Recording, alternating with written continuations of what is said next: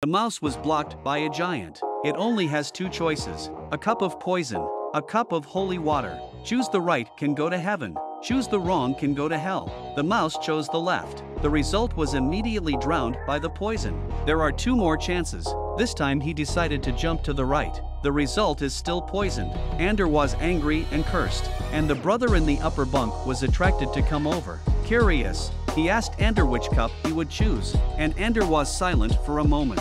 He did not choose two cups. With a determined gaze, he maneuvered the mouse to climb up the glass, and the mouse went straight into the giant's eyes. He killed the giant and shocked his companions. He asked Andy, Why did you do that? And Ender replied, That's why they trained us. All this was watched by the colonel and the instructor, who shuddered because no cadet had ever used such a brutal method to get through. The colonel smiled with satisfaction. This kind of game is specially used by the army to test the mental state of children.